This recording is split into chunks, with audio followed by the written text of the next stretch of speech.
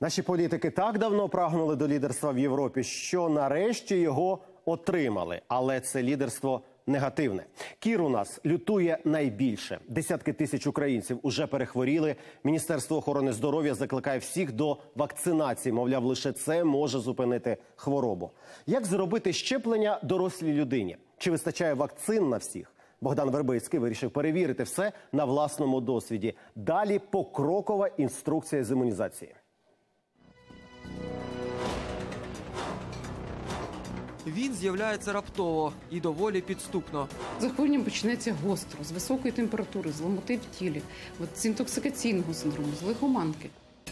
Спочатку кір не відрізнити від звичайної ГРВІ. Характерна висипка з'являється лише на третій день, але до того людина легко може заразити інших. В середньому чоловік 10 День. в день за добу. Київська лікарня номер 4 В інфекційному відділенні більше 30 хворих на кір. В дитячих лікарнях ще більше. Минулого року Україна була європейським лідером з кількості інфікованих. 64% усіх хворих на кір в Європі це наші співвітчизники. Загалом більше 50 тисяч людей. Торік від кору в Україні померли 16 пацієнтів, а за півтора місяці цього року 8. Інфіковані уже 18 тисяч, більше половини діти. Тож єдиний вихід це вакцинація. Це перший пункт, який дасть можливість не захворіти на кір, хоча це не 100% звичайно засіб. Е, Перший і головний пункт, завдяки якому можна запобігти захворювання на, на кір. І якщо витримуються всі правила епідеміології, то звичайно такого спалаху не повинно бути, як ми маємо на сьогоднішній день. Та з дотриманням цих правил у нас справжня проблема. І хоча офіційно епідемія кору не оголошена, в країні потужний спалах хвороби. При цьому противники і прихильники щеплень і досі запекло сперечаються. Та що робити тим, хто чітко сказав вакцинації так? З дітьми все зрозуміло. Щеплення можна зробити в свого педіатра в державній поліклініці. Вакцини КПК є. А от що робити дорослим, куди йти і скільки це коштує? Отже, найперше потрібно зрозуміти, а чи потрібно мені щеплення взагалі. Вакцинація в дитинстві дає пожиттєвий імунітет, але не завжди. Та й не всі пам'ятають, чи вакцинували їх від кору в 6 років. Тож найперше йду здавати кров на аналіз.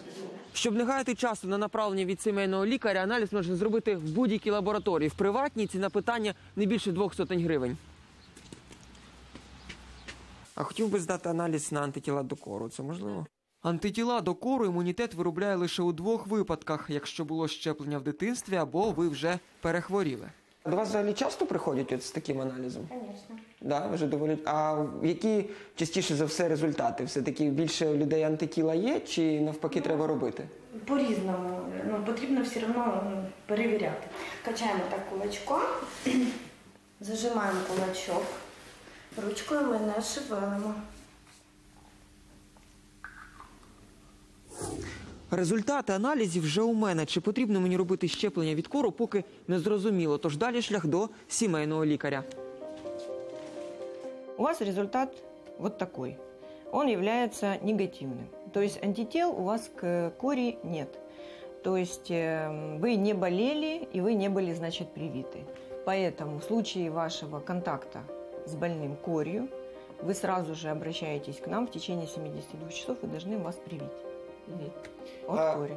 Прививка відбувається тут, на місці, Да, да, вы приходите в день, день в день, вас осматривает семейный доктор. Э, Если вы на момент осмотра здоровы, вы спускаетесь в привычный кабинет и вам делают прививку. Причому безкоштовно, але не всім. Не прививаем беременных, однозначно. Не прививаем пациентов э, с, ниже, с низким иммунитетом, с пониженным, которые, это могут быть онкобольные, это могут быть ВИЧ-инфицированные пациенты. Окрім того, щеплення від кору доступні не всім. Якщо вам більше 30, ви не лікар, військовий чи вчитель, то вакцинуватися буде складно, а все через розпорядження мозу. Провокационный вопрос, потому что по наказу у нас до 30 лет э, профессиональный риск, врачи, э, ну, медпредставители, э, учителя, Национальная гвардия и студенты, контактирующие с корью. Тобто після 30 в наказі від мозу Да. Ще одна проблема, якщо ви не підписали декларацію з сімейним лікарем. Немає договору, немає вакцини. Приватні клініки, де можна зробити щеплення за гроші, поки не варіант, бо вакцини там немає. Я, до речі, обдзвонив мало не всі столичні приватні лікарні. Ні, немає вакцин, на жаль. не можемо допомогти. Скажіть, будь ласка, а чи будуть вони десь е, в найближчий час і скільки це коштує? Ну на жаль, я не підскажу. У нас чистої вакцини проти корової ніколи не було. У нас зазвичай була дитяча вакцинка Пріоріс, вона комплексна КПК. Раніше вона була по вартості 1450 гривень сама вакцина, плюс 595 гривень е, це лікар-педіатра перед вакцинацією.